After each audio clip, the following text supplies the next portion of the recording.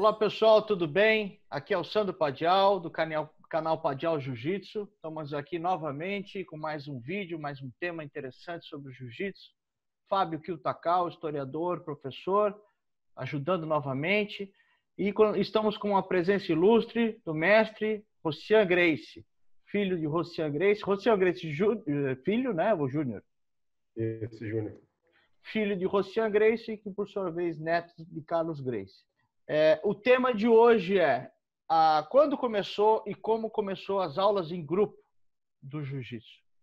Então, estamos aqui com, com o Rocian, que levantou esse tema para nós. Achamos muito interessante fazer esse vídeo, né? foi ideia dele. Nada mais é, apropriado que está o Fábio, historiador, eu fazendo aqui nossas demandas, o mestre Rocian também ajudando a fazer as perguntas. E vamos seguir lá. Fábio. Fala pessoal, beleza? Mais uma vez aqui com o Sandro, obrigado pelo convite. E o professor Rocian Grace Júnior aí, obrigado aí. É, a, o motivo da gente estar aqui nessa live, na verdade, foi uma dúvida que o, que o Rocian tinha, né? Eu queria até que o Rocian é, colocasse de novo essa dúvida aí, para a gente poder começar a falar a respeito aí. Então, eu, eu, pela história que eu sempre ouvia, que o meu avô ele só ensinava jiu-jitsu, só dava aula particular, né? E o tio Hélio também.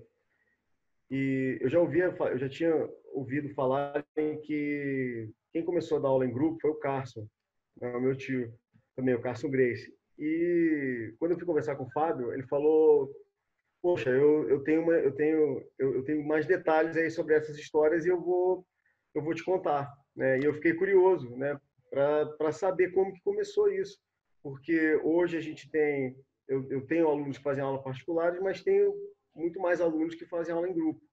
E eu queria saber como que como que começou isso no Brasil, principalmente, né? Como que aqui funcionou, né? Qual, como que foi o início dessa história, né? Aí o Fábio Agora deixa a palavra para você, Fábio, aí, ó. Você que é o, o cara aí. Legal. É, realmente, uh, o jiu-jitsu japonês, né, quer dizer, antes de chegar no Brasil, ele, tradicionalmente, ele tinha aulas em grupo. Né? É, era comum ter aulas em grupo e individual, individual também. Quando uh, o Carlos Grace começou a dar as aulas dele, é, o Carlos e o Hélio Grace ficaram famosos porque é, a maior parte da vida deles, eles deram aula particular. Né? Então, se chegasse na academia Grace, você queria ser aluno, você tinha que fazer um programa, né, é, inicialmente de técnicas de defesa pessoal, e fazia você e o professor. Bom, é, isso é até curioso, porque eles vêm realmente. Né, a gente sabe que o Carlos Grace é, começou aprendendo com o Conde Coma, enfim, é, depois com o Jacinto, o Donato, e, e, o Conde Coma ele já dava aulas em grupo, né? A gente tem aí algumas fotos é, que mostram o Conde Coma já com os alunos. Quer dizer, é, ele dava aula em grupo. Tem, tem vários né, é, relatos e deixam claro que as aulas do Conde Coma eram em grupo. Mas, por, algum, por alguns motivos, o Carlos decidiu, e o Hélio, dar aula individual. Eles é, os, os, os, alunos da primeira geração, inclusive da Academia Grace, que era Pedro Emetério, né, o próprio Gastão Grace aqui em São Paulo, é, todos eles davam aula individual. Fábio, e me conta uma coisa: uh, o Jigoro Kano, nos estilos de jiu-jitsu que ele aprendeu antes de codificar o judô, né? Ele, ele tinha aula particular ou grupo? Como é que era isso naquela época? Então, é muito difícil levantar essa, essa, essa pergunta, o Sandro, é, porque é, nas declarações que ele deixou, nas poucas declarações que ele deixou sobre esse tema, né, que era a época que ele teve aula, é, ele teve aula de Kito Ryo e Tenshin no Ryo, né? Foram dois estilos principal, principal que ele estudou. É, dá a entender que ele teve aula particular durante muito tempo. Né? Ele teve aulas particulares com mestres que ele, né, que ele encontrou desse estilo. As informações sobre esse tema são muito escassas. A gente acredita tá, que, eventualmente, ele fazia aulas com outros estudantes mas é, ele dá a entender que a maioria do tempo ele teve aulas particulares. O que a gente tem registro é de outros estilos, ô Sandro. É, nos estilos antigos de jiu-jitsu japonês, é, as aulas eram existia de novo existiam as aulas individuais, mas existiam também as aulas em grupo. Né? É, não existia uma regra para isso daí. A gente tem registro dos do, do, dois tipos. É o que acontece também que nós estamos falando numa época tão remota que o grupo também não é o grupo que nós conhecemos hoje, de 100 alunos numa aula, 50, 30, é, dois, três. Ô, Sandro, eu acho, é, eu acho que você falou o mais importante. É, é, o jiu-jitsu ele passou por diversas fases. Na Idade Média, quando você tinha muitas guerras em atividade, possivelmente você tinha lá um oficial que dava aula para um monte de, de, de samurai, né? subalternos, entendeu? É, porque eles tinham atividade, eles tinham guerra para fazer. Né? É, com, a, com a época que o Japão ficou mais em paz, que não tinha mais guerra, e aí quem procurasse jiu-jitsu né, era eventual, era uma coisa. É, é então, acontecia provavelmente isso que você falou. É, os mestres não necessariamente tinham grandes turmas. Eles tinham, às vezes, um, dois, três, poucos alunos. Não é como hoje que você tem uma classe, às vezes, de 20 alunos.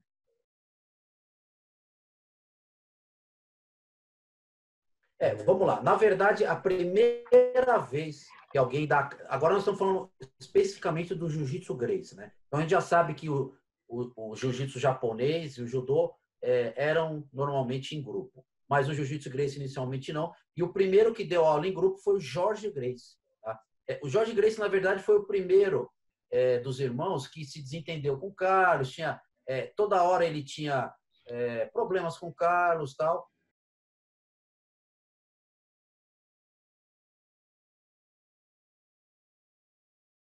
É, isso aí é uma, uma prova objetiva, né? É, foi em 1954, numa academia que o Jorge teve, é, e na Rua Senador Dantas. Né? Então, é, nesse anúncio, né, nós vamos estar tá vendo aí, é, ele deixa bem claro, eu vou ler para vocês aqui, inclusive, o que está escrito no final do anúncio, né, que eu até destaco aqui. Ó, é, aulas em conjunto e individuais lecionadas pelo próprio professor Jorge Grace. É, inclusive tem até o preço, mensalidades desde 200 cruzeiros. É, o que, que a gente conclui com isso daí? É, o Jorge Grace, boa parte da, da, da vida dele, é, ele competia com a academia do Carlos e do Hélio. Né? Às vezes ele estava junto, às vezes ele competia, e uma das maneiras que ele usava para competir era realmente essa questão financeira, né? É, assim como o Rocian falou, o Carlos ele tinha uma tendência a elitizar o jiu-jitsu, cobrar um valor realmente alto, né? É, ter é, é, alunos da alta sociedade. E o Jorge, é, ele, uma das maneiras que ele, ele encontrava para é, para conseguir concorrer com a Academia Grace era baixando o preço, né? e nesse caso fazer aulas em grupo. Ô Fábio, uma observação nesse anúncio, né? como ele é, fala do preço, todo mundo que faz um anúncio e fala o preço, é claro que o preço é diferencial. Então ele estava ali vendendo preço, né? Para competir com os irmãos que provavelmente tinham um jiu-jitsu é, mais caro, né? mais seletivo, né? Que era a, a realidade ali, né?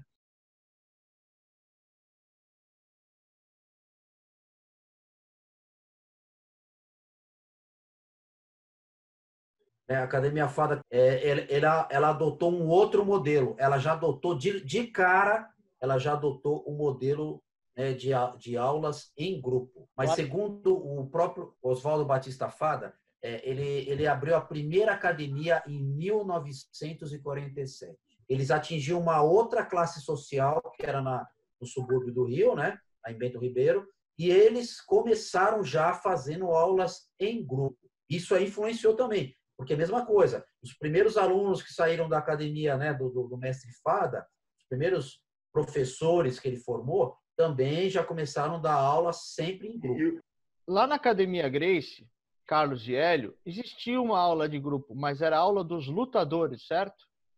É, o, o que existia na Academia Grace, você vê, esse, esse anúncio é de 1954, tá? Quer dizer, nós, a gente a gente estava é, no auge da Academia do Rio Branco, da Avenida Rio Branco, na Academia Grace Rio Branco, né?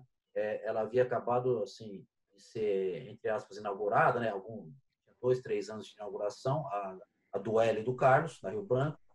E ali sim era, era a meca do jiu-jitsu né, brasileiro.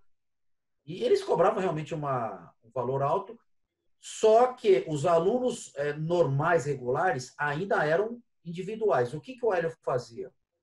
Ele tinha, lógico, o tipo de professores dele, né? é, que eram os professores e lutadores, que eram João Alberto Barreto, né? o Hélio Vigio, o Armando Vridt.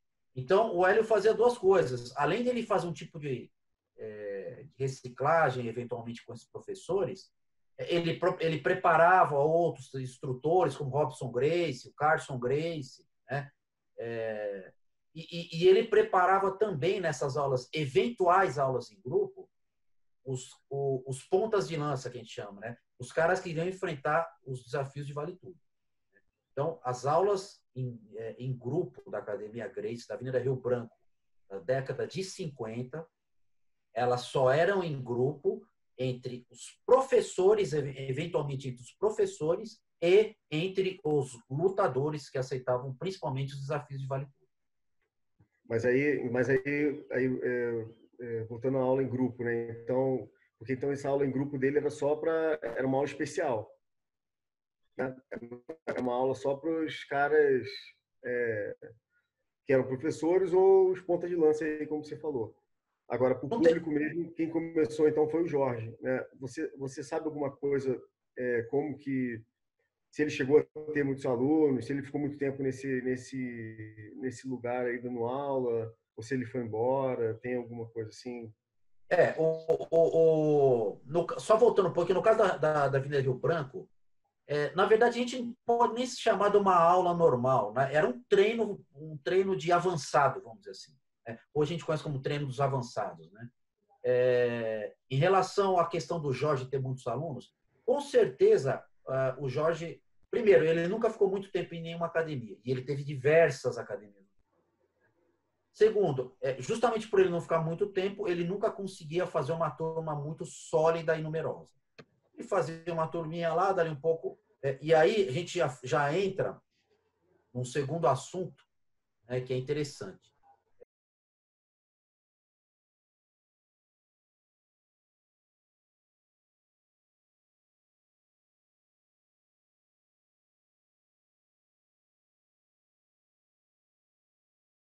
Foi o Otávio de Almeida, né? Otávio de Almeida é pai, né? É pai do, é, do mestre Otávio de Almeida, isso, Júnior, que hoje é, é presidente da, da Federação Paulista de Jiu-Jitsu. Otávio de Almeida pai, só fazendo retrospecto, ele era faixa preta do Zono, conheceu o Jorge Grace em São Paulo e, e aí começou a treinar com o Jorge Grace. O Jorge Grace rapidamente deu faixa preta para ele e, e, e, novamente o Jorge Grace foi embora de São Paulo e quem assumiu a academia do Jorge Grace foi o Otávio de Almeida. E o Otávio de Almeida, como já vinha dessa tradição do judô, né, de ter aulas em grupo, aqui em São Paulo, é, ele foi o primeiro a dar aulas é, em grupo de jiu-jitsu Grace. Né? Porque nós já tínhamos, obviamente, é, o Gastão, né, que dava aulas aqui, mas era individual também. O Otávio de Almeida, se não me engano, foi um dos primeiros ou um dos mais importantes a começar a aula de grupo de criança também. Ó, o Sandro ele está por dentro aí, exatamente. É, assim, nessa foto que a gente vai ver agora, tá? É, a gente pode ver a primeira foto do. a primeira não, desculpa. Uma das fotos bem antigas. A gente pode ver que o Otávio de Almeida Pai está bem novo aqui ainda, né? É, ele está com uma turma mista tem crianças aí, até vou chutar, até de 6 anos, criança de 12, 14 até homens. Era uma turma, uma turma mista que ele tinha. Tá? É, essa foto é de 1953. Tá? 1953. O Otávio de Almeida foi o primeiro a se especializar é, em dar jiu-jitsu Grace para crianças. Né? Isso é uma das apresentações que a gente chama de festival. O Otávio de Almeida fazia e aí juntavam todas as crianças, faziam apresentação, um mini campeonato, os pais iam assistir. Então, assim, dá para ver que, assim, tem no mínimo aqui nessa foto, no mínimo, tá? Umas 50 crianças. Não contei, mas tem muita criança, tá? É, então, realmente, Otávio de Almeida Pai, ele foi um dos pioneiros a, a dar aulas de jiu-jitsu para crianças. Eu, eu, gostaria de saber quando que, é, por que, que o Carson é tão citado como o pioneiro em aulas em grupo. É, o Carson deve ter sido um pouco depois, porque ele era, era bem depois até, porque ele era garoto nessa época, né? Ele era novo, Exato. né? Então... Exatamente. É, o, o Carson, é, ele ficou famoso por ser inovador em vários aspectos. tá? principalmente mais nessa área esportiva. Né? O Carson é muito influente na área esportiva do jiu-jitsu, sem tem dúvida. Tá? Mas essa questão da aula, é, assim, com certeza não foi o Carson primeiro, e eu vou falar por que agora. É, a gente pode ver essa reportagem aqui. É, a primeira academia tá, que o Carson abriu fora da, da dizer, quando ele se separou, né, saiu né, da, da tutela do Hélio Grace, ele abriu com o Ivan Gomes. Né? É, tanto é, é, a gente pode ver aqui nessa primeira matéria, a revista dos esportes de, de maio de 65, quer dizer, bem depois, né? O Jorge já fazia isso em 54, né? Quer dizer, é, o Carson, ele ainda treinava com o Hélio. Né? Nessa foto a gente pode ver é, o Ivan Gomes, o Carson Grace e o Hélio atrás dando instrução para os dois. Né? Quer dizer, eles estão ali na Academia Grace da Rio Branco. O Carson, na verdade, ele tinha acabado, algum tempo atrás, tinha lutado com o Ivan Gomes, empatado, e eles acabaram ficando amigos. E aí o, o Ivan foi treinar lá na Academia da Rio Branco. Logo depois dessa, né, dessa foto, inclusive, foi em maio de 65, a gente já vê uma próxima reportagem, é, alguns meses depois, né? Agora, dessa vez, falando do Carson e Ivan Gomes abrindo a academia deles na rua Toneleiros. Né? Quer dizer, foi a primeira academia, então, o Carson Grace abriu fora da Academia Grace. Né? Isso ainda em 1965. Foi, alguns, é, é, foi logo depois dessa primeira foto que ele estava com o Hélio, o Hélio Grace. E aí, né, é, nessa, nessa reportagem, bem escrito, bem simplesinho, Carson Grace e Ivan Gomes treinam juntos na academia da rua Toneleiros, em Copacabana. Isso afasta a possibilidade de um combate entre eles, tão desejado pelos amantes da luta livre. Então a gente tem aí, então, o que, isso tem a ver com o que a gente está falando? Que a primeira academia do Carson, então, foi aberta em 1965. Né? Quer dizer, o, Jorge já tinha aulas em grupo em 54. Apesar do Carson ser inovador em várias partes esportivas, ele não foi o primeiro a dar aulas em grupo o que eu acho é que é o seguinte, o Carson deixou um legado absurdo, né? Então tem muitos alunos, tiveram vários campeões, então é, é muito comum e normal de que muitas coisas sejam atribuídas a ele pelo grande legado que ele deixou. É, o Jorge fez um bom trabalho, mas nem se compara com o trabalho do Carson.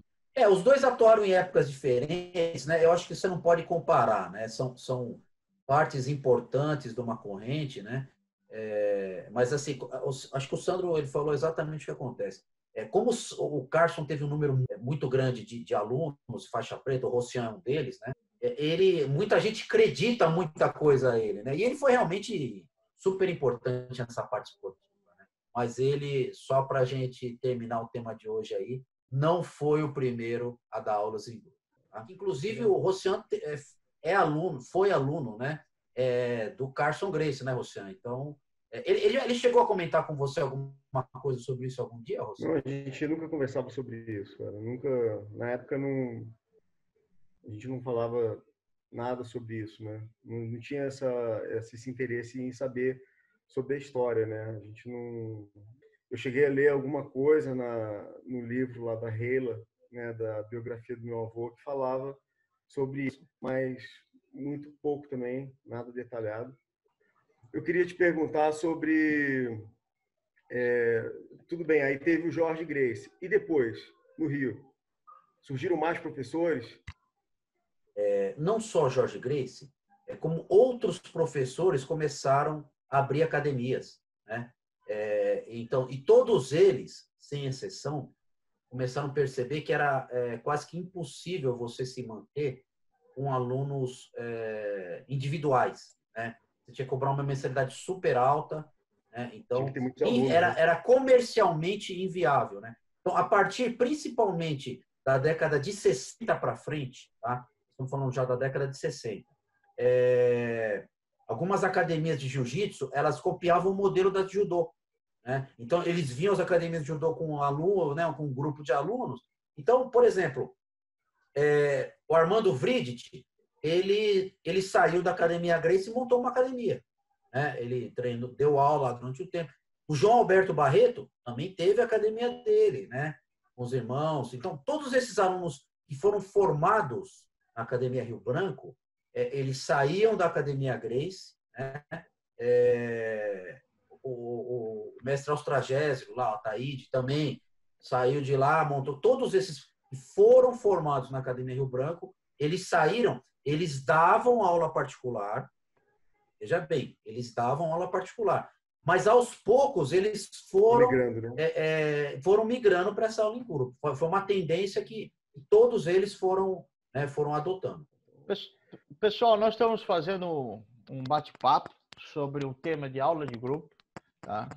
Nós estamos gravando isso em 2020 e tem um problema no mundo, né, eminente. Aí tem uma discussão sobre aula de grupo, aula particular. Então veio a calhar, né, nossos bate-papos aí, falar sobre esse tema, né? Não vamos falar disso porque esse vídeo vai ficar aí é, no ar, né? Tomara Deus que eternamente e o tema vai passar, né? Mas surgiu por causa disso. Então a gente tem mais um tempinho aí para falar sobre o assunto. Vamos aproveitar o Fábio para ele poder responder a gente aqui. É, basicamente, é, acho que essa dúvida do Rossian, né, é, quem foi o primeiro a dar aula em grupo, é, era justamente porque o Sandro falou, porque essa questão. É, hoje, será que seria melhor ter aulas individuais para evitar qualquer tipo de contágio, é, para evitar, para aumentar a questão da higiene? Não sei, eu queria que o Rossian falasse um pouco sobre isso aí. Então, eu, eu é, eu também eu até queria te fazer uma outra pergunta, mas eu vou responder rapidinho antes que eu, antes que eu esqueça. Eu acho que eu acho que o é, fazer aula em grupo é, acaba sendo acaba tendo um risco maior, mas eu acho que o, o grande risco mesmo é da pessoa que vai praticar o jiu-jitsu, ela é, agora, principalmente nessa situação, nessa época, é ela perceber como que está o estado de saúde dela. Porque quem treina jiu-jitsu, quem faz qualquer esporte de alta intensidade, apesar do que é, muitas academias não focam em competição, mas assim a luta ela é, é, ela acaba você acaba se, se desgastando muito, né? Então é, quem treina duro, quem faz exercício duro, quem quem treina não só jiu-jitsu, mas qualquer outra modalidade em, em alta intensidade, está sempre com a garganta um pouquinho você sempre fica um pouquinho gripinho, né? Então é, é só a gente saber é, qual é o nível de se realmente é porque você deu uma forçada, né? Você ficar todo dia treinando duro durante um mês, pô, com certeza a tua resistência dá uma caída. Então aí eu acho que cabe a cada um falar, vou dar uma paradinha agora até eu melhorar, vou ficar uns três, quatro dias sem treinar, ou e aí depois eu volto. Então eu, eu, eu não vejo o perigo é, verdadeiro assim de, de eu passar para você em treino, a não ser que a minha saúde não esteja boa. Aí eu for treinar com você, com certeza eu vou te passar. Pode ser que eu te passe, não só é, esse vírus, mas qualquer outro, né? Porque até a gripe mesmo. Então, mas a gente não tem como a gente também deixar de viver, deixar de fazer as coisas que a gente gosta, com medo é, de passar para o outro. Acho que a gente tem que ter cuidado. Eu acho que esse vírus aí, ele, ele surgiu agora para é, despertar na gente o cuidado, um com, cuidado consigo mesmo e com o outro, para a gente começar a observar. Porque antes dessa pandemia, a gente já estava sofrendo com, a, a, é, nem sei se é correto falar isso, mas a pandemia do estresse, né? Porque está todo mundo tão estressado e, e e eu vou te falar que só em você ficar preocupado, só em você ficar tão preocupado que você vai pegar o vírus, você, a tua resistência já cai, você já fica gripado, porra. Então, é assim, é confiar e cuidar, porque ninguém sabe o que vai acontecer amanhã. Hoje tem esse vírus, amanhã tem outro, tem outra coisa. Então, o lance todo é o quê? Qual que é o segredo?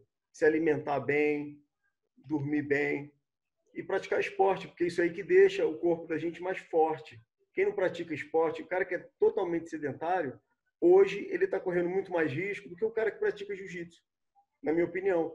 Então, o cara que vai lá na tua academia e treina, faz força, enfim, que ele está usando a mente dele em, conjunto com o corpo ali para poder é, praticar o esporte, ele está muito mais preparado do que um cara que não faz nada. O cara que fica em casa dentro de uma bolha assistindo televisão o dia inteiro, com certeza deve tomar só cerveja e tal, mas assim, é, se vem um vírus desse aí, derruba ele rapidinho. Já um cara que pratica esporte, ele está muito mais preparado, até porque você acaba tendo contato com muitas pessoas, então você vai criando anticorpos, vai ficando mais forte, entende? Então, é, acho que o, o lance todo aí da sua pergunta é a gente ter cuidado. Você tem que se cuidar. Então, poxa, se alimenta bem, dorme bem, não abusa, porque você não é infinito. O teu corpo ele tem uma, um prazo de validade, né? Então, eu acho isso aí. Agora, entre fazer aula em grupo particular, é lógico que particular o risco é bem menor. Beleza, pessoal, nós estamos caminhando para o fim. Infelizmente, tem um tempo aqui a cumprir. É... Gostaria de fazer já o convite aqui online para o mestre, professor Rossian, a participar de mais temas. Será um prazer. É uma... Está convidado. Está convidado, né, Fábio? Está convidado. E eu queria agradecer ao pessoal. Esse vídeo né, está no Spotify também, está no canal Padial Jiu-Jitsu e outras plataformas que a gente pode vir colocar é, futuramente. Professor, mestre Rostian, sua saudação final. Então, é, eu, eu gostaria de agradecer a vocês é, esse convite, aí, essa participação. E eu quero levantar é, de novo isso aí, que é importante a gente saber sobre mais sobre a história do jiu-jitsu, principalmente sobre é, esse início aí, porque ninguém sabe, então é, cada pessoa acaba contando uma história que, que acaba favorecendo a si mesmo e eu, eu achava que o primeiro que a primeira pessoa da aula em grupo era o Carson, né, e descobri que o primeiro da família Grace foi o Jorge, né, e depois teve, tivemos outros outros professores que começaram mas eu acho importante relatar esses, é, essa história aí para gente. Né? Quero te agradecer aí, Fábio, aí, por todo esse estudo aí que você faz. Isso aí é um, realmente é um material que não, que não tem preço, né? É, que tem um valor, tem muito valor, é infinito, né? Não tem como colocar um, um, um preço nisso aí, né? Porque é, é, um negócio que tem que ficar aí para as pessoas poderem é, assistir isso aí para sempre, né?